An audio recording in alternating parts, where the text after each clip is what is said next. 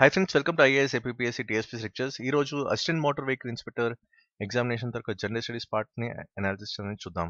So ఎందుకంటే దీంట్లో కొన్ని చాలా ఇంట్రెస్టింగ్ ఏరియాస్ ఉన్నాయి. మీతో అన్ని కూడా డిస్కస్ చేస్తాను. ఎందుకంటే ట్రెండ్ అనాలిసిస్ కనుక మీరు దీన్ని దీనికి తగినట్టు కనుక మీరు ప్రిపేర్ అయితే మీకు అది అడ్వాంటేజ్ అవుతుంది అప్కమింగ్ ఎగ్జామ్స్కి సో డెఫినెట్గా ఈ అనాలిసిస్ అనేది మీకు చాలా చాలా హెల్ప్ అవుతుంది ఎగ్జామినేషన్ పాయింట్ ఆఫ్లో.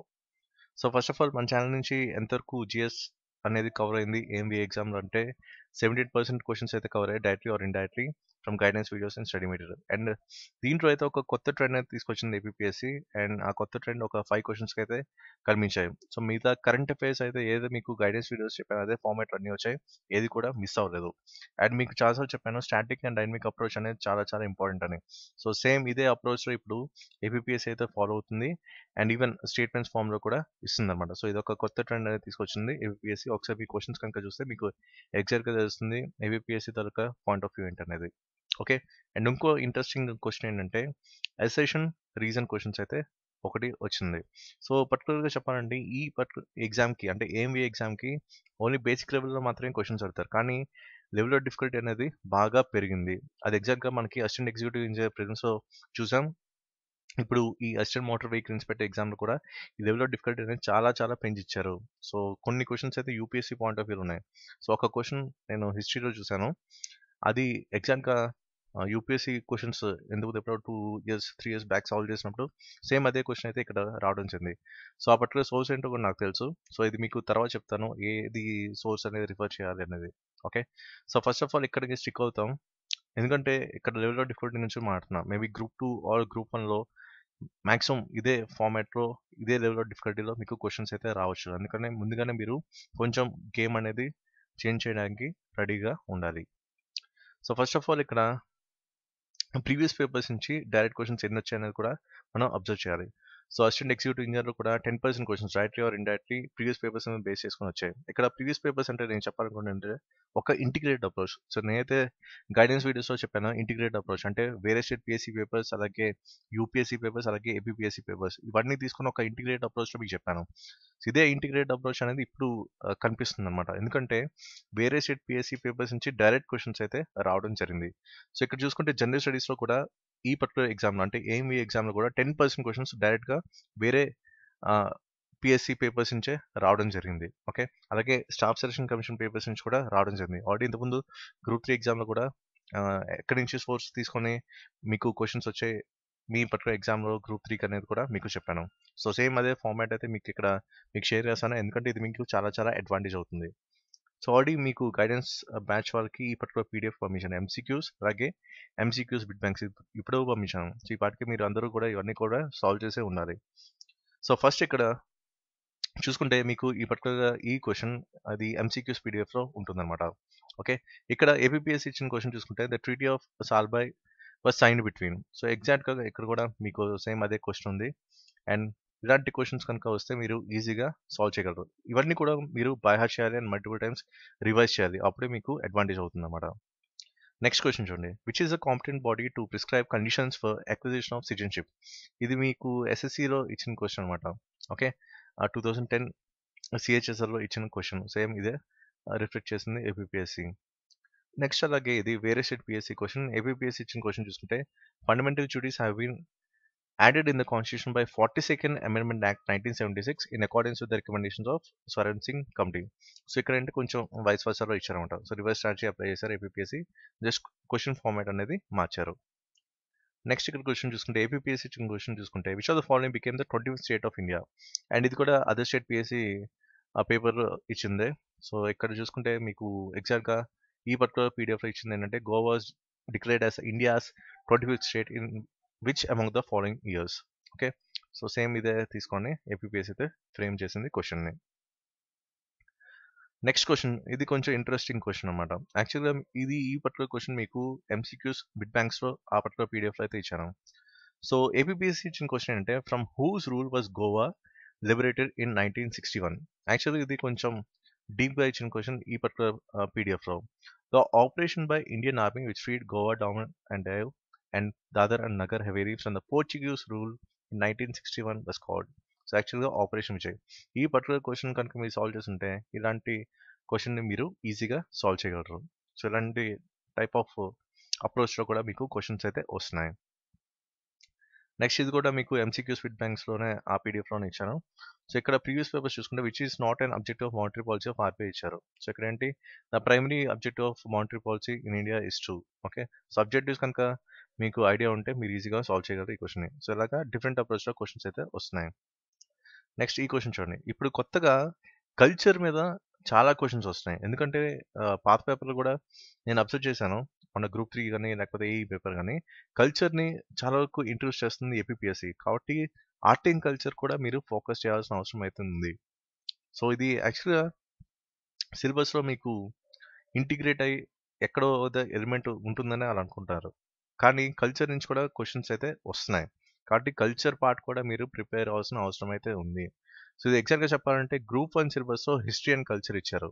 కానీ మీ పర్టికులర్ సిలబస్‌లో హిస్టరీ అండ్ కల్చర్ అని ఇవ్వలేదు. ఓకే. కానీ కల్చర్‌ని వీరు యాడ్ చేసి తీసుకొస్తున్నారు అనమాట కాబట్టి ముందుగానే కొన్ని బేసిక్స్ కల్చర్ సంబంధించి కూడా మీరు చదవాలి. ఎందుకంటే ప్రతి క్వశ్చన్ కూడా చాలా చాలా ఇంపార్టెంట్. ప్రతి మార్క్ కూడా చాలా చాలా ఇంపార్టెంట్. ఓకే. కాబట్టి కల్చర్ బేస్డ్ థింగ్స్ కూడా మీరు కవర్ చేయడం బెస్ట్. ఓకే. నెక్స్ట్ ఇక్కడ చూడండి. Arrange the following Indian freedom movements in chronological order. ఇది ఆల్రెడీ మీకు ఎంసీక్యూస్ బిట్ బ్యాంక్స్ పీడిఎఫ్లో ఇచ్చాను. అండ్ సేమ్ ఇదే ఫార్మాట్‌లో ఒకటే ఏదో యాడ్ చేశారన్నమాట అంతే. హోమ్ రూల్ మూవ్‌మెంట్ ఒకటే యాడ్ చేశారు. మిగతాదంతా యాజ్ టీజ్ ఉంది. ఇది కూడా ప్రీవియస్ పేపర్ క్వశ్చన్ నెక్స్ట్ ఇక్కడ చూడండి. On which day was the constitution of India adopted. ఇది ఆల్రెడీ ఇంతకుముందు గ్రూప్ టూ స్క్రీనింగ్ ఇచ్చిన question okay. So, first of all ఇక్కడ చెప్పాలంటే ఏపీపీఎస్సీ నుంచి కూడా కొన్ని క్వశ్చన్స్ అయితే రిపీట్ అవుతున్నాయి. యాక్చువల్‌గా దీని రూట్ ఎక్కడ ఉందంటే 2016 ఎస్ఎస్‌సి సిపియూలో ఉంది. Okay.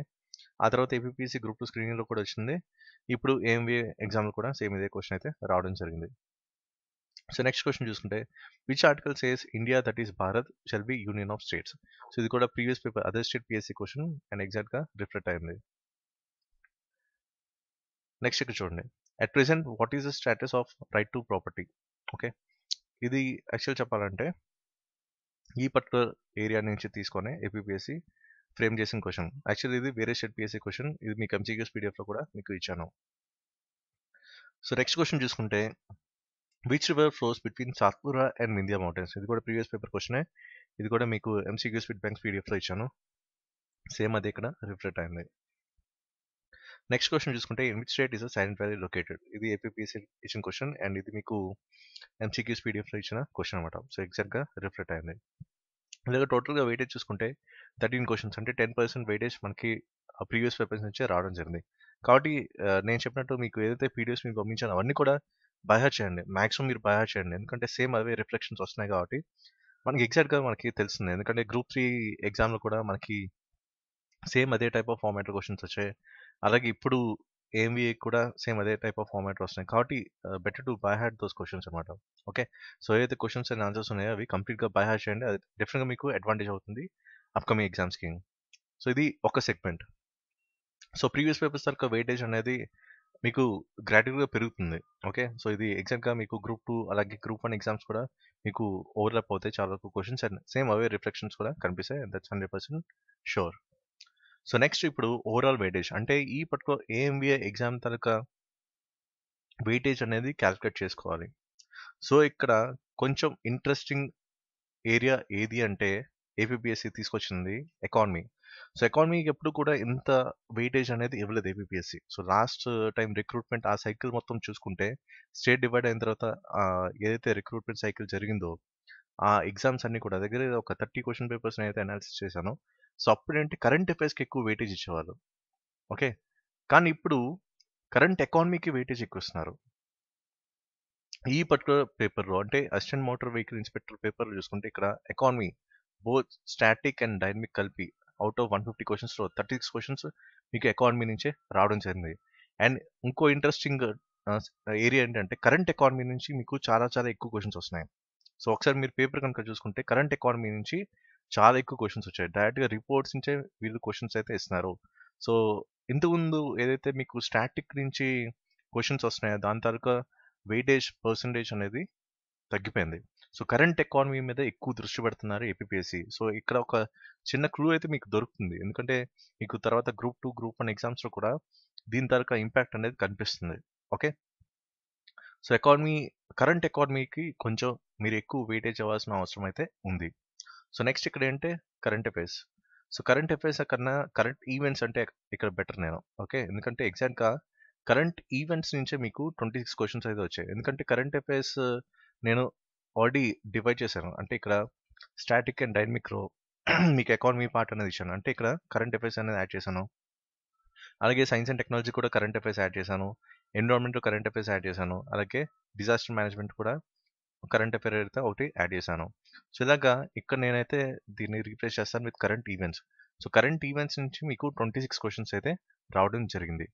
And next important focus area ఏంటంటే bifurcation of AP.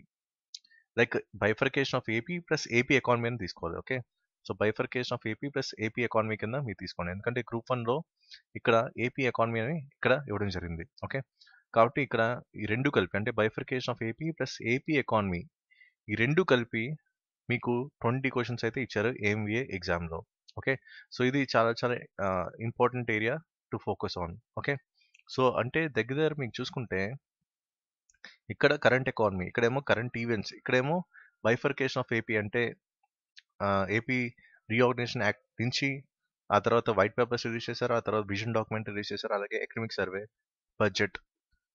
ఇవన్నీ కూడా ఏపీకి సంబంధించిన అంటే ఏపీ ఎకానమీకి సంబంధించినవన్నీ కూడా ఇక్కడ మీకు వచ్చేసాయి అనమాట అంటే ఇక్కడ bifurcation of AP plus AP economy అనేది కూడా మీకు యాడ్ చేస్తే టోటల్ ట్వంటీ క్వశ్చన్స్ అయితే రావడం జరిగింది. సో దీని తరక ఎనర్జీ అనేది చాలా చాలా పెరిగిందనే మనం తెలుసుకోవాలి. ఈవెన్ గ్రూప్ త్రీలో కూడా బైఫర్కేషన్ ఆఫ్ ఏపీ నుంచి చాలా ఎక్కువ పర్సెంటేజ్ ఆఫ్ క్వశ్చన్స్ అయితే రావడం జరిగింది. కాబట్టి ఇది కూడా మీకు ఇంపార్టెంట్ సెగ్మెంట్ కింద మీరు తీసుకోవాలి. నెక్స్ట్ పాలిటీ కానీ హిస్టరీ అండ్ కల్చర్ కానీ ఇక్కడ కల్చర్ అనేది అందుకే యాడ్ చేశాను. ఎందుకంటే హిస్టరీ అండ్ కల్చర్ నుంచి మీకు క్వశ్చన్స్ వస్తున్నాయి. ఓకే సో కల్చర్ నుంచి కూడా మీకు డిఫరెంట్ టైప్ ఆఫ్ ఫార్మాట్స్లో క్వశ్చన్స్ అయితే వస్తున్నాయి. అందుకు మీరు కల్చర్ కూడా చదువుకోవాలి. అందుకే ఇక్కడ హిస్టరీ అండ్ కల్చర్ అని ఎగ్జాక్ట్గా మీకు మెన్షన్ చేశాను. అండ్ ఇక్కడ మీకు ఇంకో డిఫరెన్స్ అయితే గమనించాలి. సో ఇంతకుముందు మీకు జనరల్ సైన్స్ నుంచి ఎక్కువ క్వశ్చన్స్ వచ్చేవి. కానీ ఇప్పుడు జనరల్ సైన్స్ తరక వెయిటేజ్ అనేది బాగా పడిపోయింది. జస్ట్ మీరు ఒకసారి గ్రూప్ త్రీ పేపర్ చూడండి. అలాగే ఏఈ ప్రిలిమ్స్ పేపర్ చూడండి. దాని తరక పర్సంటేజ్ అంటే జనరల్ సైన్స్ తరక వెయిటేజ్ క్వశ్చన్స్ తరక పర్సంటేజ్ అనేది చాలా వరకు డ్రాప్ అయింది. Okay?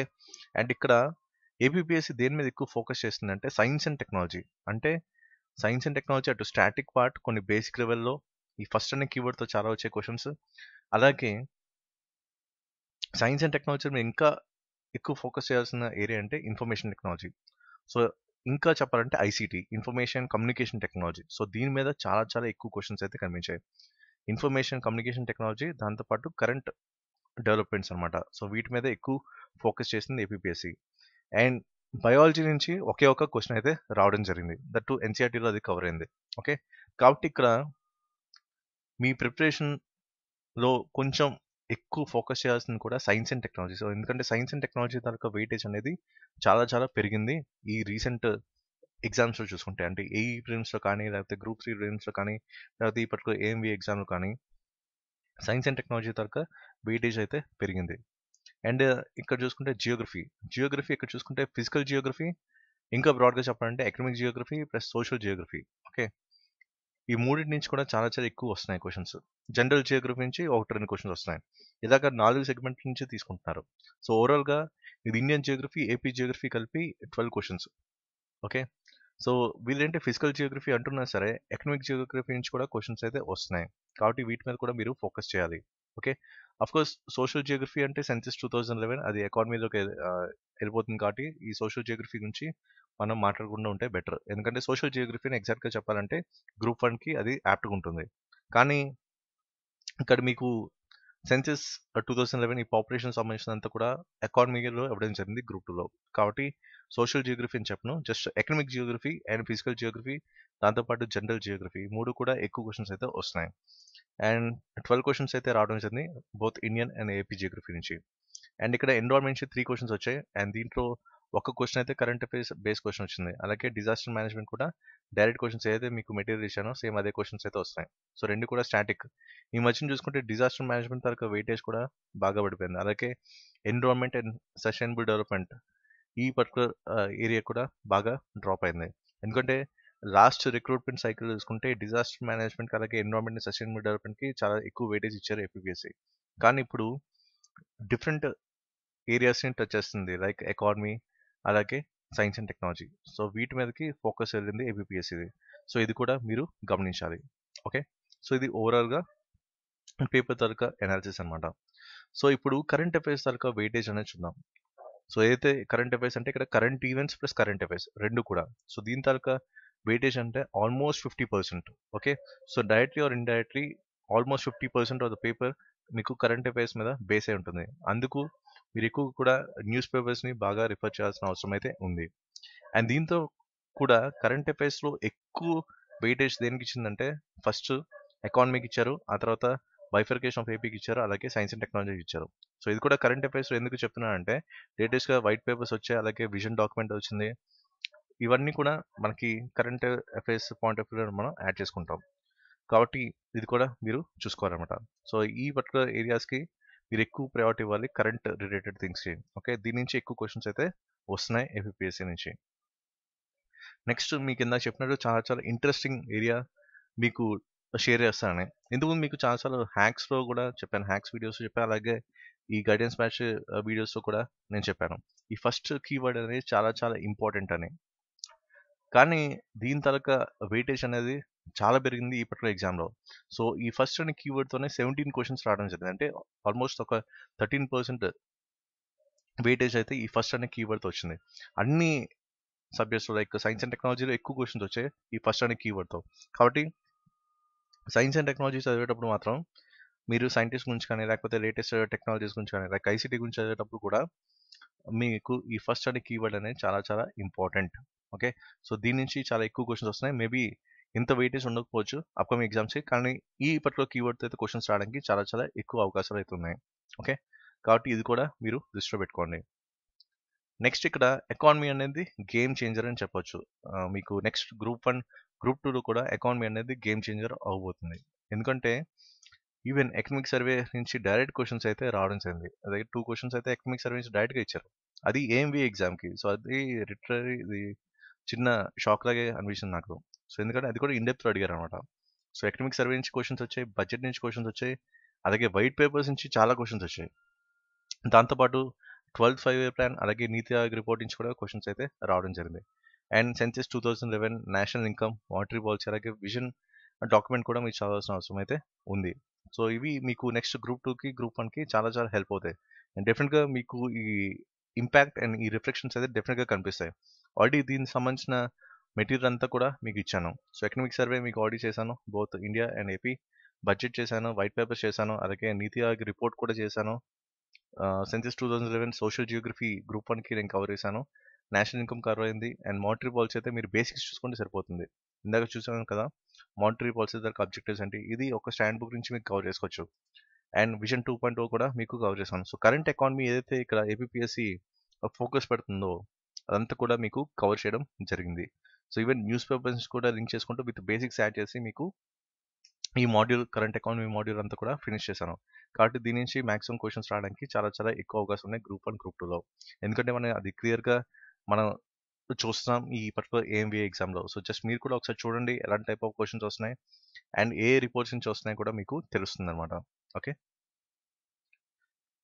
so next current events ఒక ట్రిక్కీ క్వశ్చన్ అని చెప్పాం కదా. సో ఇది చాలా చాలా ఇంట్రెస్టింగ్ ఏరియా సో ఇక్కడ మనకి సిలబస్ కూడా ఇచ్చారు current events of national and international importance అని. ఓకే సో దానికి స్టిక్ అనే ఇంతకుముందు ఏపీఎస్ ఒక రెండు క్వశ్చన్ కనిపించే అది నేను గైడెన్స్ వీడియోలో ఆల్రెడీ చెప్పాను. కానీ ఈసారి మీతో యూట్యూబ్లో కూడా షేర్ చేద్దామని మీకు ఈ పర్టికులర్ క్వశ్చన్ అయితే తీసారనమాట సో ఇక్కడ క్వశ్చన్ ఏమి ఇచ్చారు? APPSC in which year was pin code introduced okay ఇది year nineteen seventy two okay యాక్చువల్గా ఈ క్వశ్చన్ ఎందుకు వచ్చింది? ఏపీఎస్సి ఈ పర్టికులర్ క్వశ్చన్ ఎందుకు అడిగింది అనేది మనం రైజ్ చేసుకోవాలి. ఓకే సో ఇక్కడ మీకు ఇక్కడ క్యాలెండర్ ఆఫ్ ఈవెంట్స్ ఉంటుంది. యాక్చువల్గా ఈ fifteen to twenty first so John fifteen to twenty first pin code week అయితే జరిగింది. సో ఇందాక మీకు చెప్పాను ఏపీఎస్ అయితే static and dynamic approach follow అవుతుంది. అండ్ ఇదే టైప్ ఆఫ్ ఫార్మాట్లో మీకు క్వశ్చన్స్ వస్తాయి సో ఈ స్టాటిక్ అంటే చూడడానికి ఇది మన డైనమిక్ అయినా సరే స్టాటిక్ పార్ట్ నుంచి క్వశ్చన్ అయితే అడిగింది ఏపీఎస్సి కాబట్టి ఈ పర్టికులర్ ఫార్మాట్ ఆఫ్ ప్రిపరేషన్ కూడా చాలా చాలా అవసరం. సో ఏదో చదివేసామంటే కాదు న్యూస్ పేపర్ చదివినప్పుడు కూడా స్టాటిక్ అండ్ డైనమిక్ అప్రోచ్ అయితే మీరు ఫాలో అవ్వాలి. ఓకే? నెక్స్ట్ కల్చర్ నుంచి కూడా క్వశ్చన్స్ వస్తాయని చెప్పాను. యాక్చువల్లీ ఇది కల్చర్ అనేది నేను సివిల్ సర్వీస్ అని గ్రూప్ వన్కి ప్రిపేర్ చేశాను. సో ఇది చాలా చాలా లెంగ్తీ మెటీరియల్ అనమాట దగ్గర three ninety six pages material. Okay? Even UPSC civil service కూడా ఇదే నేను రికమెండ్ చేస్తాను అనమాట కానీ ఇప్పుడు కల్చర్ నుంచి క్వశ్చన్స్ వస్తున్నాయి. ఫర్ ఎగ్జాంపుల్ ఇక్కడ చూడండి. ఇక్కడ ఫిలాసఫీ మీద ఒక క్వశ్చన్ వచ్చింది. ఓకే? సో దీంట్లో ఏంటి ఓల్డేజ్ అని క్వశ్చన్ ఇచ్చారనమాట సో ఇక్కడ మీకు ఇది నేను మెటీరియల్లో తీసిన అనమాట ఇది. ఇది నేను ప్రిపేర్ చేసిన మెటీరియల్లో ఎగ్జాక్ట్గా కీవర్డ్స్ ఇచ్చాను. ఓల్డేజ్ స్కూల్ అని. ఓకే? సో ఇక్కడ కూడా ఏమి అడిగారు? Which of this is the old age అని. సో ఇదేంటి? ఆన్సర్ అంటే సంఖ్య అనమాట ఓకే? సో ఇలాగా కల్చర్ నుంచి క్వశ్చన్స్ వస్తాయి కానీ ఇంత డీప్ ఈ పర్టికులర్ పాయింట్ ఆఫ్ టైంలో చదవడం కూడా కష్టమే. కాబట్టి మీరు ఒకసారి తించేయండి కల్చర్ అనేది మీరు ప్రిపేర్ అవ్వాలా వద్దని సో డెఫినెట్గా దీని నుంచి అయితే ఒక టూ టు త్రీ క్వశ్చన్స్ అయితే మీరు ఎక్స్పెక్ట్ చేయొచ్చు అప్కమింగ్ ఎగ్జామ్స్కి. సో కల్చర్ దాకా వెయిటేజ్ అనేది పెరుగుతుంది. అందుకే హిస్టరీ అండ్ కల్చర్ అనేది మీరు కన్సిడర్ చేసుకోవాలి. సో లైక్ మోడర్న్ హిస్టరీ అనేది దాన్ని ఫిక్స్ అవ్వకుండా కల్చర్ పార్ట్ కూడా మీరు ప్రిపేర్ అయితే బెటర్ అనే నా ఒపీనియన్ అనమాట ఎందుకంటే కల్చర్ క్వశ్చన్స్ అయితే మనకి కనిపిస్తున్నాయి కాబట్టి. ఓకే? సో ఇంతకుముందు మనకి గ్రూప్ త్రీలో కూడా వచ్చాయి కల్చర్ మీద. ఇంతకుముందు గ్రూప్ టూ స్క్రీనింగ్లో కూడా ఒక క్వశ్చన్ అయితే వచ్చింది కల్చర్ మీద. కాబట్టి కల్చర్కి కొంచెం స్టిక్ అవుతుంది ఏపీపీఎస్ అని కనిపిస్తుంది. కాబట్టి వీటి మీద కూడా మీరు ఫోకస్ చేయండి. సో ఇది ఓవరాల్ అనాలిసిస్. ఒకసారి మీరు క్వశ్చన్ పేపర్ చూడండి. క్వశ్చన్ పేపర్ చూసి మీరు ఎన్ని క్వశ్చన్స్ సాల్వ్ చేయగలుగుతున్నారు? ఒకసారి మీరు అనలైజ్ చేసుకుంటే ఒకసారి మీరు ప్రాక్టీస్ చేస్తే అది మీకు నెక్స్ట్ కమింగ్ ఎగ్జామ్స్కి మీకు హెల్ప్ అవుతుంది. ఓకే సో జస్ట్ క్వశ్చన్స్ని మీరు అబ్జర్వ్ చేయండి. ఎందుకంటే అంతా కూడా మనం సాల్వ్ చేద్దామన్నా సరే మనకి పేపర్ అనేది ఇలాగా క్వశ్చన్ అండ్ ఆన్సర్ ఫార్మాట్లో ఉంది. కాబట్టి జస్ట్ మీరు క్వశ్చన్స్ని ఒకసారి చూడండి. ఆ లెవెల్ ఆఫ్ డిఫికల్ట్ అనేది ఒకసారి అనలైజ్ చేసి ఒక పర్టికులర్ పేపర్ మీద ఒక్కొక్క క్వశ్చన్ నంబర్ వేసి దాని తర్వాత మీరు ఆ క్వశ్చన్ తరక లెవెల్ డిఫికల్టీ ఎలా ఉంది? మీరు సాల్వ్ చేయగలిగారా? లేరా? ఇదంతా కూడా అనాలిసిస్ చేసుకుంటే మీకు అది అడ్వాంటేజ్ అవుతుంది okay so that's it for this video and thank you for watching and do subscribe to our channel IAS APSC TSP lectures thank you